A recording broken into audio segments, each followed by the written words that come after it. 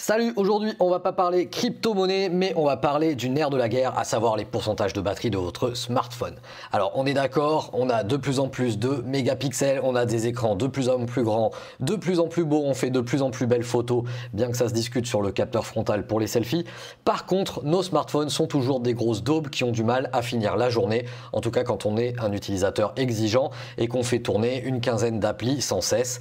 Et même sur Android, quand on prend l'habitude de euh, dégager toutes les tâches de fond et toutes les applis de messagerie. En tout cas, moi, même avec un OnePlus 6 qui finit tranquillement une journée, on va dire, standard. Si je tire avec du YouTube Premium en Picture in Picture dans un coin et que j'alterne avec 15 euh, onglets Chrome et 12 applications de messagerie, Telegram, Discord, Slack, du surf sur Internet, du Facebook Messenger par-dessus, clairement, je sais que même si je vais finir une journée normale, si je ressors en soirée, béni soit la charge rapide qui arrive actuellement, mais il va falloir charger avant de repartir. Et c'est ainsi que sont arrivées ces petites choses que maintenant vous devez à peu près tous connaître qui sont des batteries externes. On en a différentes tailles, euh, différentes formes.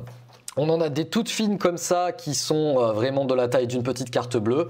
À savoir que dans un smartphone, une batterie, ça se mesure en euh, milliampères heure. Alors Samsung est tout content sur son Galaxy Note 9 de nous annoncer qu'un Galaxy Note 9 va avoir une batterie de 4000 milliampères heure. À savoir que c'était une capacité présente dans les hauts de gamme chez Huawei depuis fin 2016. Donc rien de nouveau sous le soleil encore une fois. Une batterie de 4000, 5000, vous voyez, ça représente à peu près ça. Là-dedans, j'ai 5000. Là-dedans, j'ai 10 000, sauf que là-dedans, j'ai un petit écran. Une option qui peut être sympathique aussi, c'est euh, la présence de deux sorties bah, pour potentiellement recharger un ami, recharger, je sais pas, votre vapoteuse si vous êtes un clopper électronique, recharger votre GoPro, recharger euh, n'importe quel accessoire. Ça peut être recharger une, euh, moi personnellement, une batterie de mon appareil photo, mon Panasonic GH5. Je peux la charger directement dans mon sac à dos photo à l'aide d'une batterie externe. Ensuite, on passe sur des modèles beaucoup plus gros ici on va appeler ça une power bank généralement. On a des marques connues qui vont être Anker ou OK. Ça coûte pas cher, hein. ça coûte 25 euh, euros environ, même moins quand on est en promotion. Donc là-dessus, on est vraiment euh, quand même sur le parpaing. Là, on est sur du 20 000, il existe des 25 000, des 30 000. Là, ça va être plutôt pour 2-3 jours camping ou alors vraiment une utilisation ultra intensive parce qu'on va faire de la, hum, je sais pas, capter ou tourner. Moi, je sais que quand on avait tourné pour la 500e de Naotech une émission en bateau, on va pas disposer de prise électrique, bah on va brancher ça directement sur le trépied et faire un tour de scotch. Et on sait qu'on va recharger l'appareil qui va passer des heures et des heures à filmer sans se préoccuper du pourcentage de batterie.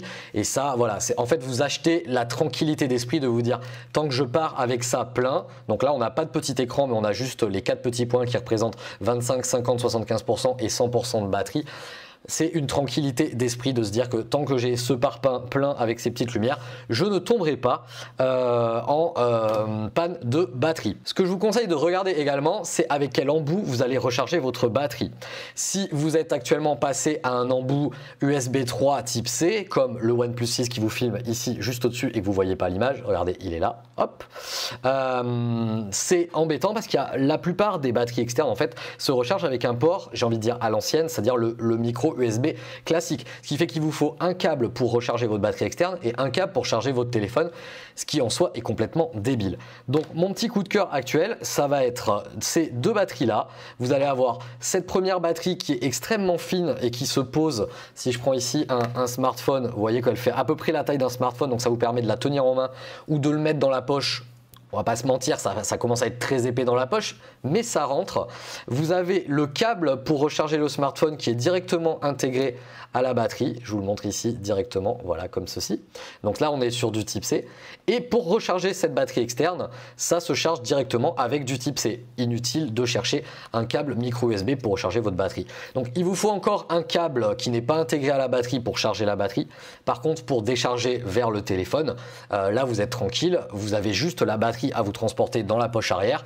Et puis quand vous savez que vous partez en soirée ou dans le sac à main pour vous mesdames, vous avez juste à mettre ça directement sur votre téléphone portable. Là on est sur une batterie 7000 mAh, donc quasiment le double euh, d'un smartphone haut de gamme. Un smartphone haut de gamme ça va aux alentours de 3500, 4000. Sachez que chez Apple on n'est même pas aux 3000 mAh et c'est pour ça que euh, ben, vous finissez pas la journée et puis que vous voyez tous les utilisateurs d'iPhone se trimballer le chargeur directement dans le sac. Mon dernier petit coup de cœur, c'est cette petite batterie que j'adore parce que les batteries externes, c'est génial, mais vous noterez qu'elles ne sont jamais pleines quand on en a besoin.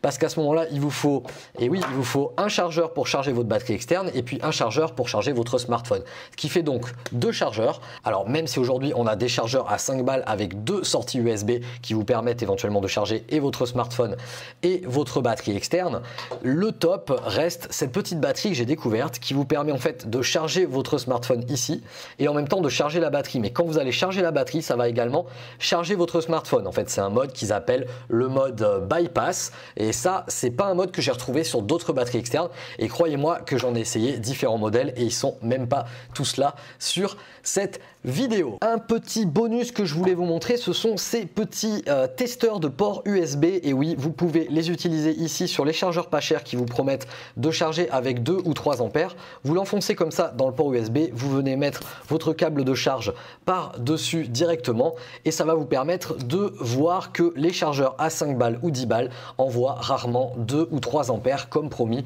mais plutôt 0,8 ou 1,2, ce qui est grandement insuffisant pour charger plein pot un smartphone haut de gamme. C'est valable euh, également pour les batteries externes qui vous vendent monts et merveilles. Si vous voulez réellement charger euh, votre smartphone haut de gamme plein pot, il va falloir prendre son chargeur secteur d'origine ou de marque officielle avec des technologies qu'on appelle Quick Charge, Turbo Charge ou Dash Charge chez OnePlus.